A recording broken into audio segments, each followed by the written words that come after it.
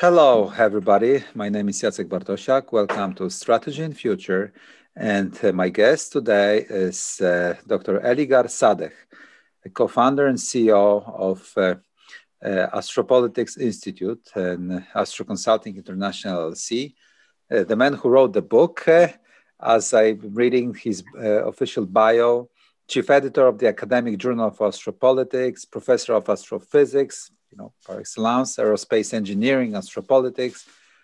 Uh, his experience include work with NASA, Lockheed Martin Space Systems, Colorado State University, University of Colorado. You can name many other institutions. Uh, just uh, you can take a look at the uh, astropolitics.org website. Mm, uh, prominent uh, scholar, prominent expert on space, space engineering, space politics, strategies, and so on and so forth. Uh, hello, welcome to uh, Strategy and Future. I'm really happy that we could talk. Yeah, hello. Thank you. Thank you for inviting me. I appreciate being here. Uh, before I start recording, uh, when we, you know, have some sort of a warm-up introductory discussion with uh, with my guest, mm, I, um, I, I asked if we could just start by defining what we mean by astropolitics. So, uh, Eligar, if you may say what we define by astropolitics, how would you define it? Right. Well, that's that's a great question. Yeah, um, I've been involved in, you know, evolving the definition and scope of astropolitics for for quite a few years now. Most of my professional career over the last, um, you know, 20 to 30 years. Um, the field itself, I, I, know you've had Dolman on before. The field itself kind of started from folks like Dolman, who defined an astropolitik, and others who, who really began to look at the area of astropolitics through geopolitics and geopolitical competition and geopolitical security issues. Uh, since that time, I've really broadened the scope of what astropolitics is, particularly through um, research uh, and the academic journal Astropolitics that I'm the chief editor of over the past 20 years or so.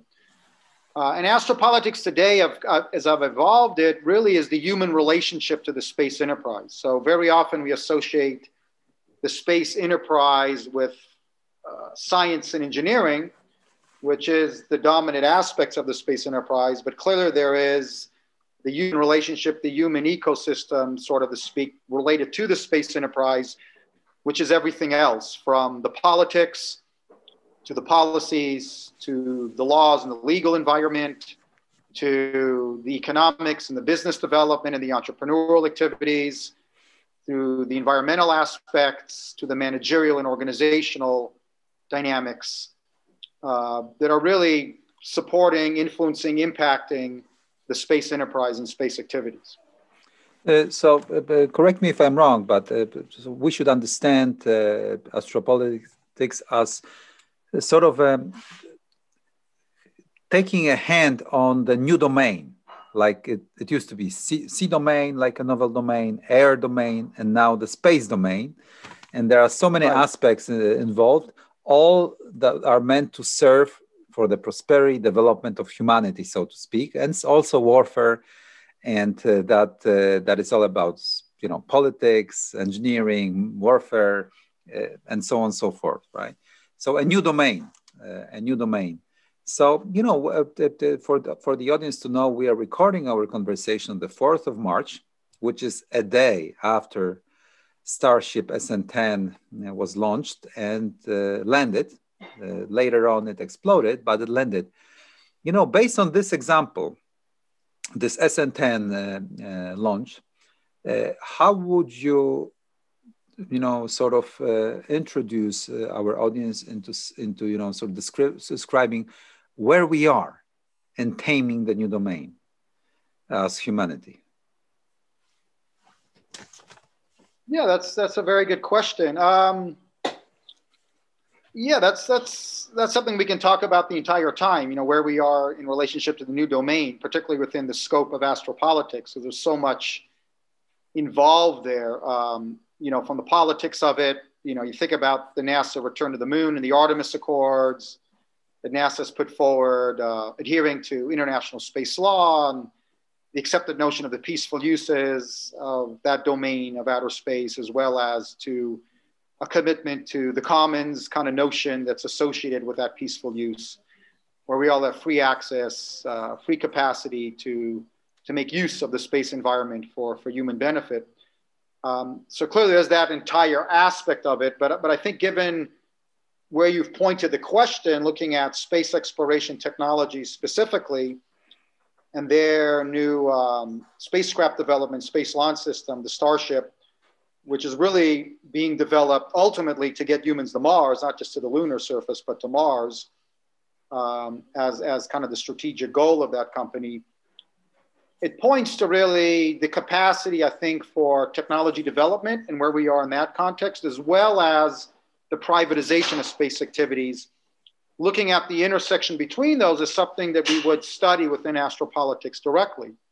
So it's a really great example in terms of how you phrase the question there.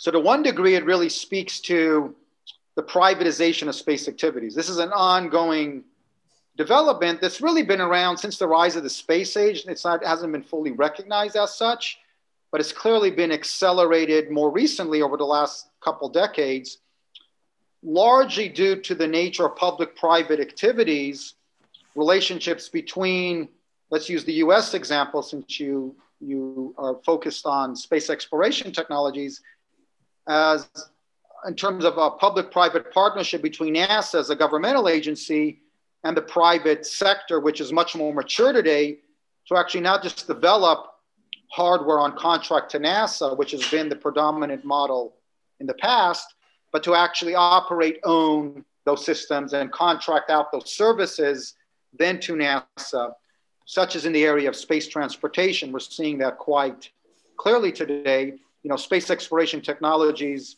looking at their Falcon 9 Heavy, has is, you know, not too long ago put into space astronauts the International Space Station on contract to NASA. Now they have a long-term contract with NASA to launch astronauts, operate those missions to the International Space Station. Uh, the Starship represents a further development in that its development really represents an attempt by the private sector to be able to launch systems and launch humans to the surface of Mars ultimately as a strategic goal. Uh, and that represents a whole new maturity that's maturing within the private uh, space sector, where that sector is really owning and operating those systems and then providing that as a service to government, as I mentioned. So it kind of shifts the model from what occurred in the past, where NASA contracts the hardware development and then NASA simply owns and operates those systems by itself. So I think it's shifting the paradigm somewhat in that context. Uh, it also points to the state of, I guess, ongoing technology development to an extent. Uh, although those capacities did exist in the 1960s. If you look at the Apollo program, and space transportation systems worldwide. We do have heavy launch systems worldwide. There is capacity, uh, prior capacity to launch humans, you know, very heavy payloads into space to the, to the lunar and Martian surface. Uh, clearly, we, we gave up on that capacity somewhat, and we're redeveloping that capacity today. I think the major shift, though, that is occurring is not so much in the technology itself, although there are some innovative approaches such as return and reusability of core boosters, such as you mentioned, you know, they failed with the Starship so far to successfully return the core booster to the ground, but clearly they've done that already with the Falcon 9 core booster. Uh, so that's a new innovation. Um, but the fundamental shift is that the private sector is now mature enough to have that capacity and to own and operate that capacity independent of government. So that represents a new paradigm of how maybe we can move forward with space exploration, where the private sector can own and operate certain technologies like space transportation services, and the government can focus on areas where there's less of a market, such as cutting edge research and development, uh, doing science on the lunar and Martian surfaces. So it can free the government of that, although that paradigm is still playing itself out as you know NASA is still pursuing its own space launch system, although we'll have to see if that's really developed to, to full implementation. There's still some doubts on whether that's going to move forward. Yeah, but let me just move to, to, to, you know strategy a little bit so that we define the frame of what we understand today by space. Uh, of course, we, we can dis- discuss it's a whole universe, which is you know unlimited and beyond our imagination. But I, but by space, I, I want to ask you what we mean by space now. Uh, that we embrace uh, by our reach, by our technology, by our strategizing. Is it only really so that it's the uh, the Earth orbit, which is you know outer crest of our planet, which is very close. It's it's uh, it's within our gravitational pull, which so it's part of the planet. Is it up to this, this lunar and the moon, which is in this Hill sphere, right? In this uh, dual Earth uh, Moon planetary system, or we, you know, we it's more. Maybe only you know Lagrange points, uh, Earth solar system and Earth Moon. How would we define the space? the, where we should strategize. And because strategy is all about structured movement, so what is conceivable for us, us to strategize as humans? And my second question is Do you believe in the peaceful exploration of this new domain, or you are more of this, you know, great power competition person that, uh, no, you know, says, would say that the human nature is flawed and we would, you know, fight over that anyway? Right, right. Yeah, let, let, me let me start with the first question. Yeah, uh, two great questions there. Um, so, so it's really all of it in a sense, uh, but but in, there's different dynamics to each aspect of it. Um, so the starting point, as as I view it, is essentially where does space begin and where does the Earth atmosphere end? In in a sense, I mean, you can you can try to define that in terms of physics in understanding the chemistry of the atmosphere. Traditionally, we have defined that at a point of where air breathing engines can no longer operate. It's, it's historically been called the von Karman line, and it occurs at around 100 kilometers uh, above the surface of the Earth at sea level, at 100 kilometers. Um, that's generally thought of as the functional domain of where the space domain begins and where the Earth domain the Earth atmospheric domain ends. And that's important for politics and law and commercial activities because we govern the atmosphere in one way, and that doesn't necessarily extend to how we may or may not govern the outer space domain. So that distinction is important. Now, that distinction has largely been thought of in terms of the physics and chemistry uh, air breathing engines and the functionality of that and where that ends, so space kind of begins. That has not, however, been defined as much politically or legally. There is no legal demarcation per se, although I know there are two states in the world Australia, there might be only Australia, though I think there's one other, can't come to mind, but I know Australia has legally defined space at beginning at 100 kilometer demarcation other states have not. However, functionally, it plays out that way. Uh, so that gets us into the Earth orbital arena, which is one form of governance, uh, particularly how do we govern the Earth orbital environment? Uh, low Earth orbit is not governed in any specific way, politically or legally. It's thought of in terms of the context of the peaceful uses of outer space.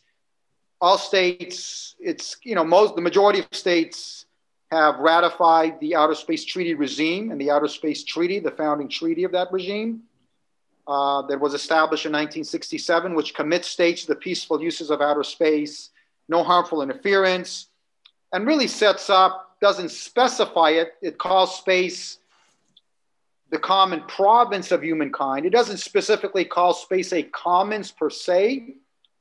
It doesn't officially designate space as a common heritage of mankind but it definitely strongly implies that. I'm of the personal view that that's where we should go. We should establish space as a common heritage of mankind. Uh, that was proposed in the in the um, Moon Agreement for the surface for the for Moon and celestial bodies, but that doesn't have much adherence in law or politics due to the fact that so few states and no space powers have ratified uh, the Moon Agreement itself. Um, but it does set up a situation of, of how humanity successfully govern the orbital environment of space, uh, premised on peaceful uses and no harmful interference. That sets up a regime where we have allowed for military uses of space in a passive sense. We haven't gone down the path of active, ongoing military uh, systems in pace that would constitute being weapons in space, although we've clearly tested uh, the weaponization and, and, weapons of space, and some would argue that we are going down a path of weaponization. Uh, but passive use of space for military purposes has been allowed, including support of war fighting on the ground. Uh, that falls within what's allowed within the regime. Uh, for low Earth orbit, we have no outside of the non-harmful interference. We kind of govern that through, I guess, ad hoc systems of space traffic management. Uh, there is no active space traffic management systems, though people talk about creating one akin to air traffic management systems for the Earth's atmosphere and commercial airlines. We don't have any active space traffic management legal system or political system. But having said that, we do track space objects, functional satellites, as well as dead satellites, as well as orbital debris to manage that system. And there are governmental systems that's shared by the military that has some of the most advanced systems on a need to know basis. And there are emerging and active uh, commercial um, information that's being shared to get at space traffic management. For geosynchronous orbit, uh, we have a more direct system of management the International Telecommunications Union, geosynchronous is primarily used commercially for um, telecommunication services, and that is managed to the uh, constitution of the International Telecommunications Union, where we have an assignment of orbital slots and spectrum. Two countries would then manage that within their countries as to how they're going to allocate that to private and governmental entities to be able to operate there with orbital designations and spectrum designations. So there is some management there. Uh, beyond that, we get to less and less management, but a lot of discussion. Uh, clearly, there are there's strategic security importance to cislunar space, scientific importance to cislunar space, and the Lagrange points. Um, how that is managed right now, there is no you know, formalized system of management of that outside of adherence to the Outer Space Treaty, of looking at space as the common province of mankind and considering the peaceful uses. Extending beyond there, you know, we do have, again, the, the further extension of space law to, to the lunar surface and to the moon itself and to other celestial bodies, whether it be asteroids or the Martian surface. And there's interesting developments in that domain from thinking about things like the Artemis Accords, which largely adheres to the Outer Space Treaty as we get back to the moon um, internationally uh, with the United States and NASA in the lead, uh, with a permanent uh, human presence on the moon, to thinking about human exploration of Mars. There are issues and, and guidelines governing contamination of planetary bodies. That's about harmful interference of the environment. Um, that's been advanced by the Committee on Space Research, COSPAR, uh, planetary protection guidelines to avoid the contamination, let's say, of the surface of Mars because we are searching for signs of biosignatures of life and possible life in the past or current forms of life that may be Mars today. Um, so a lot, a lot of different issues at play there. Um, just to kind of raise a few, but but there is active discussion in all domains, from the orbital environment from low Earth orbit to geosynchronous orbit to cislunar space to interplanetary space itself. Yeah.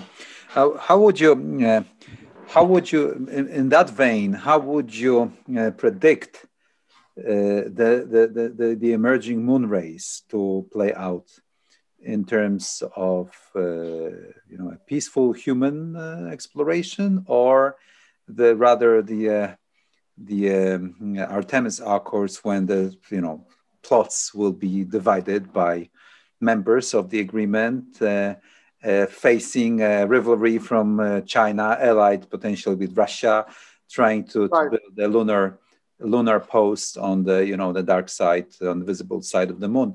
You know, it, it, it given the strategic position the moon has in this dual planetary system on the top of the gravity well that you could you know manufacture use the minerals and build the you know planetary infrastructure based on these minerals, which is much more efficient than taking it from Earth. And uh, the military position uh, that you occupy, having the moon, and also the words of uh, you know the uh, the President Trump uh, when he was establishing Space Force to protect probably this new marketplace, the supply, the celestial lines of communication to the Artemis program. Uh, how would you predict this game to play out? Well, that's that's a good question. Um, I guess there's prediction versus what we would all like to see, right? What, what I personally would like to see, and, and you know, there's others that share my view, obviously, and there's there's others that wouldn't necessarily share my view because they think it's not a likely scenario. I, you know, you know, there is the argument put forward by by some that, you know, we have the weaponization of space already. There is obviously geopolitical competition there are space races um, for control of cislunar space and materials from the lunar surface and, and, and access to asteroids and the mineral wealth that space can offer. You know, but despite all the competition, despite the security dimensions, despite the way in which we conflict here on Earth, despite the facts that, yes, space is contested, it's congested, there are problems that we need to address. What I am finding is the most likely prediction is this ongoing adherence to the principles established by the Outer Space Treaty regime and the Outer Space Treaty itself of 1967, most principally. I'm of the mindset, and there are others that share this view, that that's the Magna Carta of outer space. And despite everything else going on, despite all the predictions, and despite the issues we need to address and the propensity for humans to conflict on Earth and the extension of that to outer space, I'm still seeing, you know, almost 60 years later, we're still adhering to the Outer Space Treaty regime and its founding principles, more or less. That to me indicates that we need to begin to develop a commons approach to how we want to govern outer space. And there are analogs that are drawn, you know, uh, the atmospheres are commons, and we have models of how we do that on Earth. The high seas are our commons, and there's a law of the seas. Antarctic still, is a common. If, we have but, we have a treaty of Antarctic. So I think there are many, many models, and I'm of the school of thought of those that are looking at how can we successfully govern the commons of outer space for the benefit of all of humanity, and that involves many, many issues that need to be addressed that haven't been addressed by the Outer Space Treaty, which is just the founding principles, such as how do we advance an equitable property rights system in outer space? That needs to be addressed. How do we deconflict? How do we avoid harmful interference? How do we address all these issues? And there are interesting models. You know, one that comes to my mind that I've looked at, for example, is if you look at the law of the seas, there's the International Deep Seabed Authority that really establishes the deep seabed within the law of the seas, the deep seabed beyond your territorial waters and your exclusive economic zones are the common property, in a way, of the world. And that mineral wealth in the deep seabed needs to be equitably shared. And so you have an international authority that equitably tries to share that resource where everyone can benefit in an equitable way still allowing for some degree of property rights and commercial extraction of those sources at the same time. So I'm of the school of thought that this is the most viable model for the mineral wealth and use of outer space. Um, and I'm of the school of thought that this is the way I think it will play out.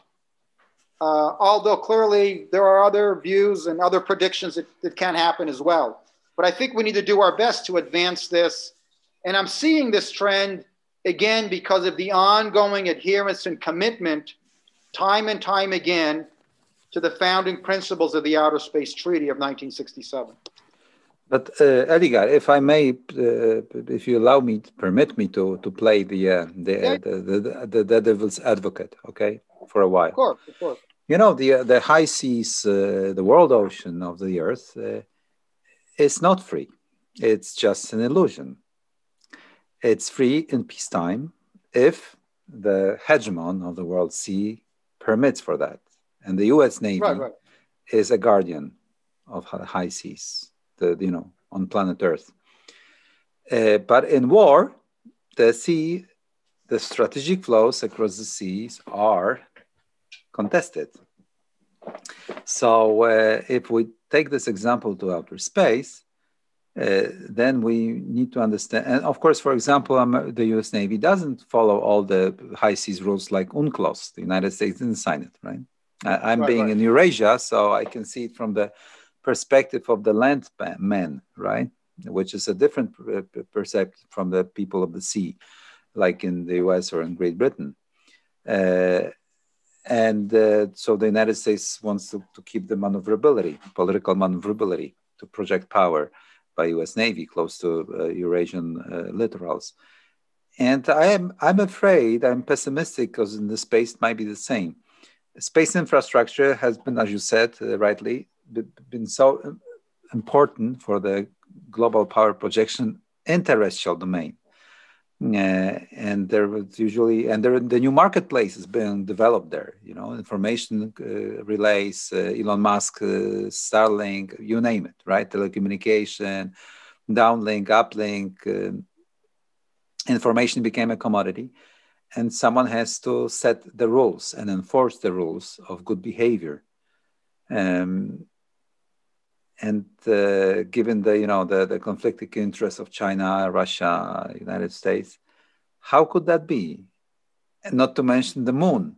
This is why I asked you kindly for your prediction, for your prediction, because uh, uh in, in, Cold War, if uh, you permit me to, to sort of uh, give my perspective, there was simply an equilibrium, and space was only the the, the inter the, the, the, space where the intercontinental ballistic missiles were being you know exchanged but still both parties try try to maintain the equilibrium and not to put weapons in space to to sort of bro- break it. Now it's more you know escalatory more unstable you know. Uh, how would you respond to those provo- provocative questions? And they were provocative on purpose to keep you know to make our conversation you know like uh, hot uh, hot stuff so to speak Right, right, right. No, no, I, I appreciate that. Um, the challenge there and the questions. Um, you know, you know, as, as, I mentioned, it's, you know, I, I think the trend overall, if, if we begin to look at it again, I'll go back to how I, I finished and I'll, I'll get to, to your challenge there. There is an ongoing commitment to the international law of space, right? To the outer space treaty regime. Now, to an extent, you could make the argument. I've studied international law. You could make an argument that all of international law is somewhat illusionary because it only operates on the basis, generally only during peacetime. You are completely correct. It's suspended during times of conflict and war. And it operates under the caveat that if the powers of the world do not support it, it does, it can't, it can't be manifested, right? So it relies on the hegemons of the world on the powers of the world to enforce and support the principles of international law as established. So, so everything you're saying is correct. I mean, but that is true of all of international law. It's not unique to space. It's true of international law, regardless of the domain. That's how it operates. Um, it's not. It's not one-on-one with national laws, right? It, it, takes it's it's secondary to the national laws of states and the national interests of states, eh, generally speaking. Having said that, I think there's a international mindset that clearly has developed since the end of World War II, where we're seeing a, a sustained commitment by powers of the world to different degrees, of course, to international law itself, to a commitment to international law itself whether in space or in other domains. I think we're seeing that commitment. Uh, and I think that's true of the Outer Space Treaty regime itself. We're seeing that ongoing commitment uh, to that. Um, now, that doesn't necessarily imply that we don't have issues or conflicts, or if we go down a path of active weaponization of space or wars in space that, that people put out as predictions here. Um, but I think space is a unique domain. It's very, very different than all the other domains on Earth. It's different than we're out of the gravity well, right? We're, we're at the edges of the gravity well, right? We're circling around the gravity well. We're, we're in orbit. We're literally falling around the gravity well, or we're outside of the gravity well. If we if we start going to into cislunar space and onto Mars, so the physics are different.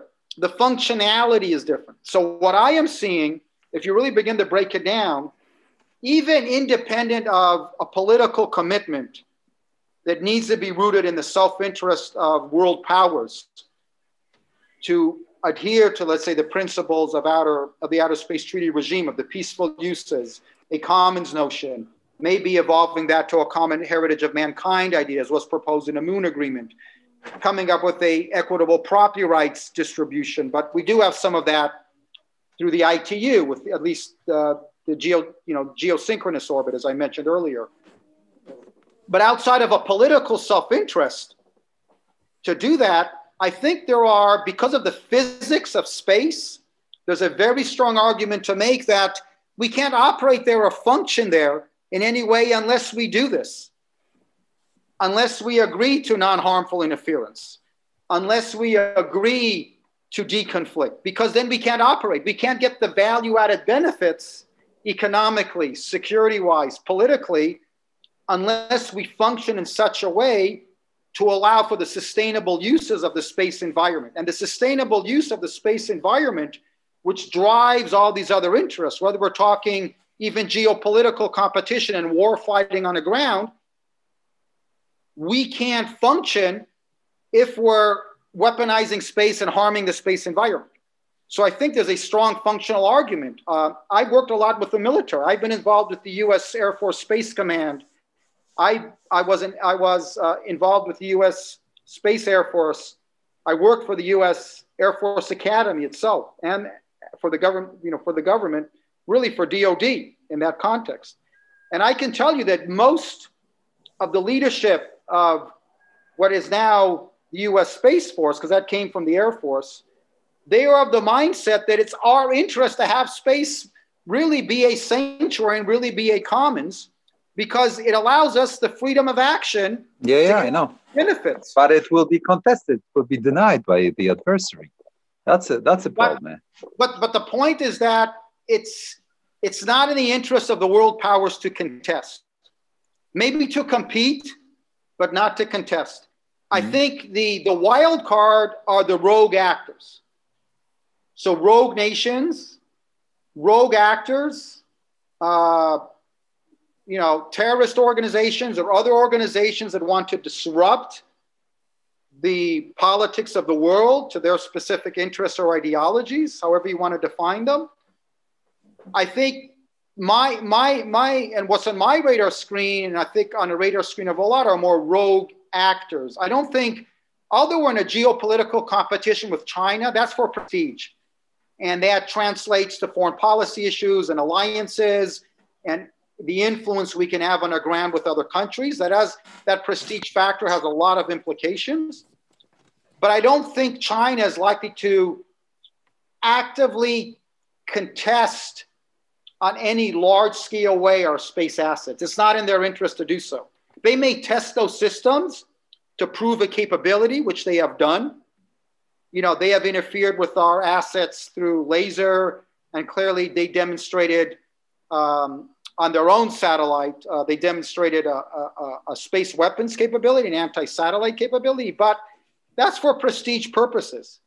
Uh, most of the folks I talk to and associate with, and my understanding, being a researcher in this area, and knowing the leadership and having discussions with them, um, do not see that as a very likely scenario. It's not in China's interest.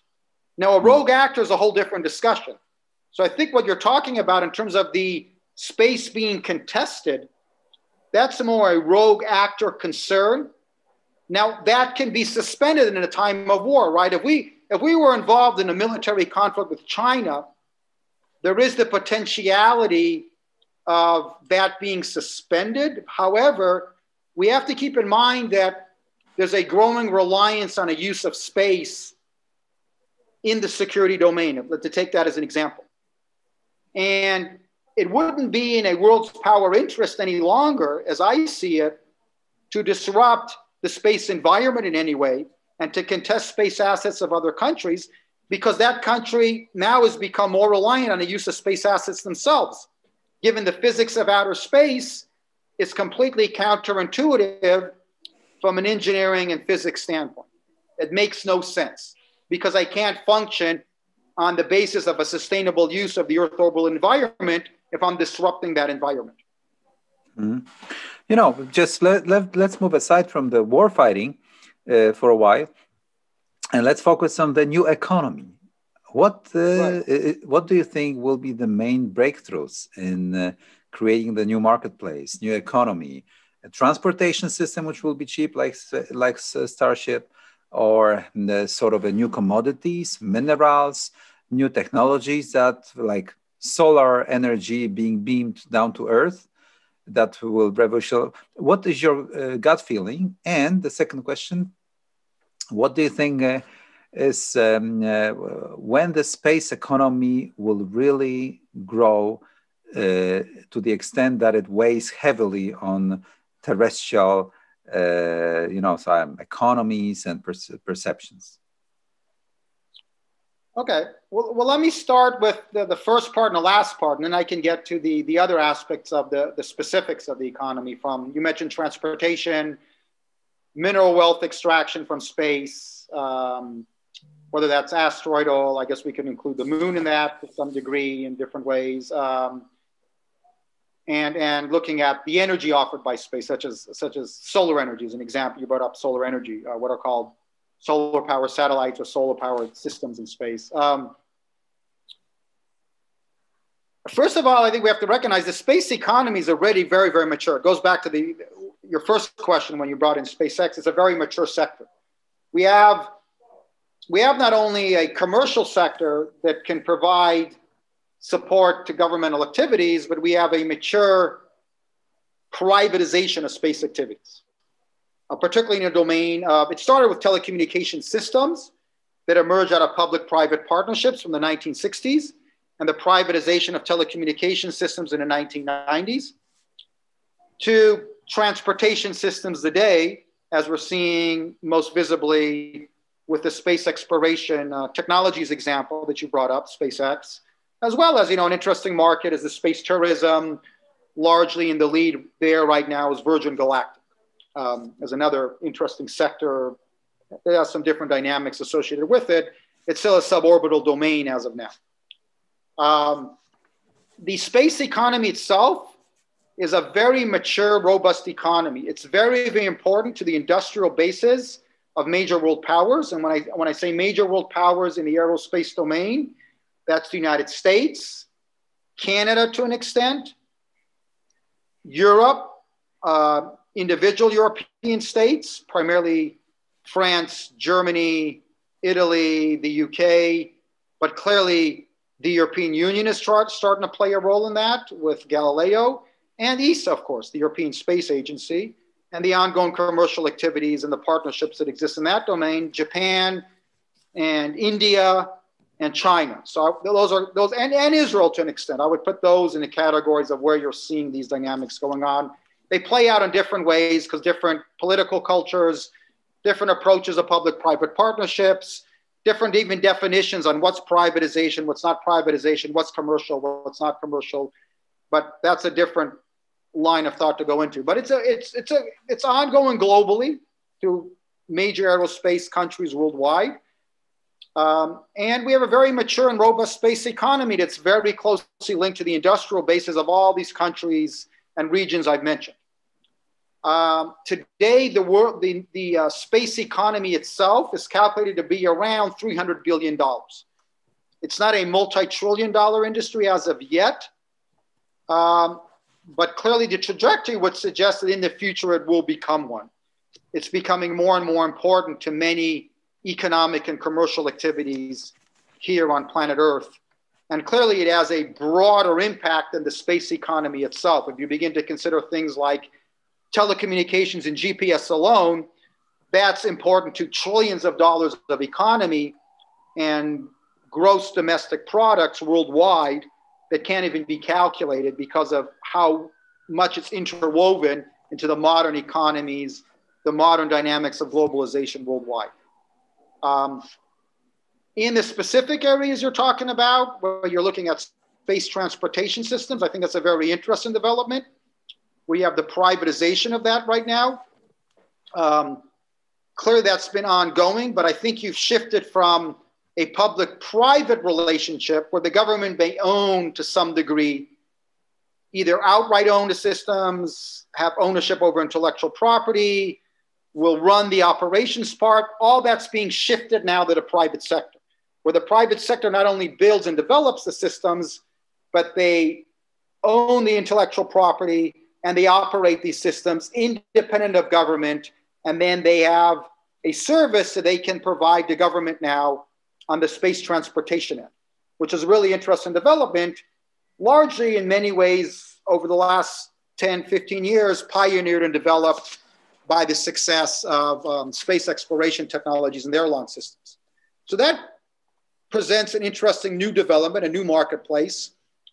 Um, the market dynamics are not mature enough there as of yet. You know, one thing to keep in mind when we're talking about the space economy and what sometimes we, we term the new space economy or the space economy point, you know, two, is that outside of telecommunication services, everything else I'm talking about cannot self-support through market dynamics independent of government.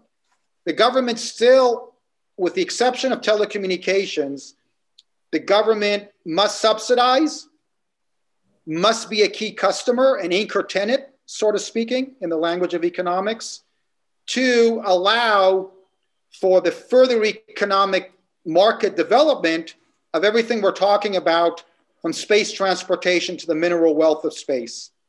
So those markets are still largely rely on government intervention through capitalization or government ownership models in other countries to allow for the development of those systems and then government anchor tenant, government contractual activities to allow for any viability of profit making for the private sector. And the same is going to be true when we're talking about the mineral wealth of space, whether in the energy end for solar power, which I think is very, very promising, and the role that space can play in addressing global environmental issues, sustainable development goals, uh, energy is one of those, and there's been a lot of discussion and talk about developing solar power satellite systems on a large scale to address those energy needs, although we haven't really done it as of yet. And how that would play out would be very, very interesting. And what are the public private dynamics and what are the economics of doing that? And then the mineral wealth aspect. Um, there are some tentative moves in that domain. Uh, the US passed a law recently allowing for private companies to lay claims to the mineral wealth of asteroids, establishing maybe a model for how private property rights could emerge.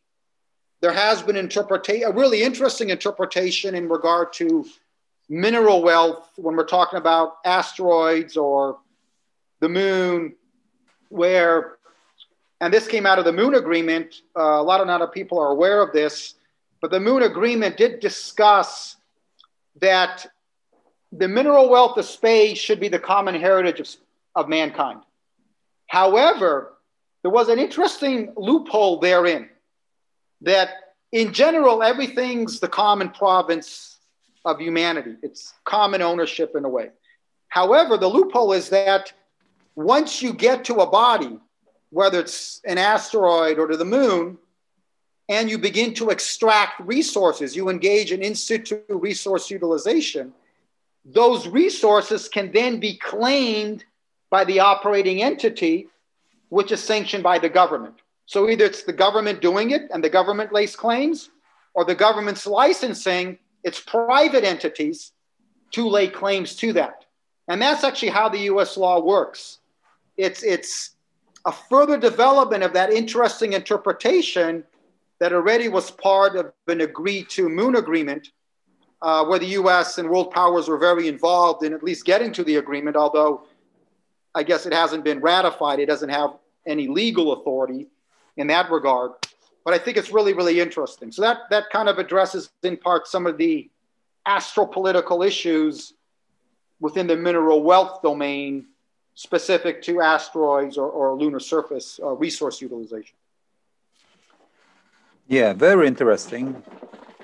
Very interesting. Of course, uh, I fully agree with this uh, government factor, state factor, without uh, which nothing is possible, actually. And people, uh, over the last 30 years of globalization, which was a, a really uh, spree for private wealth accumulation, forgot about it uh, but the Cold War was won by the, the American state, and uh, the innovation was also funded and organized by government.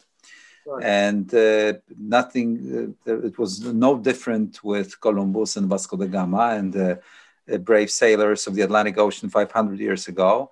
It was still the School of Navigators funded by the, the Prince Henry, who, you know, and so on and so forth. So, uh, you know, the, the world ocean revolution from 500 years ago when we subjected ourselves to ourselves the world ocean was also orchestrated, sponsored, funded, and organized by organized states, uh, uh, states of Europe, of uh, the west of rimlands of Europe, of the sea, seaboard nations of the Western European Peninsula. And the same will be with, uh, with space. So uh, that's a very interesting point. Uh, you know, the time is, of course, uh, without mercy, and we're navigating uh, slowly but steadily towards the end. And of course, I wanted to ask you like one billion questions. Uh, so maybe the, the last question, which will be, you know, going really forward in, far into the future. When do you think will be the first settlement on Mars now? That's a difficult question to answer. You know, I, I, I teach students. Um, I teach physics and some astrophysics and, and even teach some, some courses in politics. Um, you know, if you asked that question back in the 1960s or in the Apollo program, everybody thought in the 1970s or 1980s at the latest. You know, Apollo was a, was a permanent lunar presence in the making. Um, that ended as a result of the politics. Uh, you know, the, that initiative was, was about geopolitical competition in the Cold War and once mission was accomplished, it made no political sense. Um, asking the question today is a really interesting one. Uh, we do have the Artemis, you know, the Artemis program and a return back to the lunar surface with international participation with the United States in the lead. Uh, I see us returning to the lunar surface this decade. I think given where the funding uh, trajectories, the contracts that have been issued, the growing interest internationally and among the private sector companies in the US to make this happen is strong enough to see this program through, though it's going to rely on ongoing allocations to NASA's budget, right? Uh, presidential support and support from Congress. And that's somewhat unpredictable when we're talking about a return of humans, as we've seen over the past 50 years a return of humans to the, to the, to the lunar surface. Um, Mars is, is further afield. I think the interesting wild card here that hasn't happened before is what we've, what we've talked about based on the questions you've asked, which is the privatization of space activities on the space transportation end and the Starship program. Uh, space assets have act, they're developing hardware right now to get humans to the surface of Mars. How will that play out? Um, will there be ongoing funding needed from SpaceX to accomplish that? Will NASA partner in an active way with SpaceX to get humans to Mars? Um, there's a lot of unknown questions there. I would predict, given the trends we're seeing, given the interest of the company itself and, and its founding figure, Elon Musk, given the long-term interest of the aerospace community and the space community of NASA to get humans to Mars, given the tremendous amount of resources and efforts in all the Mars missions. Uh, we just had three Mars missions get to Mars successfully one from China, one from the United Arab Emirates, and NASA's Perseverance landing um, a few weeks ago. Given all that, I think there's enough momentum and interest to allow us to reliably think of us getting to Mars in a decade of the 2030s, next decade. But the big wild card is still the funding, the commitment. Uh, but I think this privatization push may be the difference today that didn't exist back in the 80s or 90s or all the previous decades where we always thought of this, but it never it never happened. And, so, and given the maturity of the Artemis program as well, and that being, you know, the lunar gateway being a gateway not just to the lunar surface, but to considering getting us to Mars as well, I think we have some interesting dynamics that have dramatically shifted for me to have more confidence in a 10 to 15 year projection of having humans on the surface of Mars. And the last, really, the last question, and uh, I know we, we need to end. The shall we have soon the nuclear fusion, which is man- manageable and scalable and doable right. and oper- operational? Um, well, the, the joke in that community is every 10 years, we're about 10 years away. Um, there are a lot of interesting developments in nuclear fusion going on right now. I know there's been some breakthroughs. I think it was a very recent breakthrough. I can't remember the specifics of it on solving some of the engineering problems. Um, the main engineering problem is containing the tremendous amount of heat needed. Uh, you're talking about 15 million degrees, uh, Kelvin or Celsius. At, at, that temperature, it really doesn't matter what scale you use. Um, it's a tremendous engineering challenge.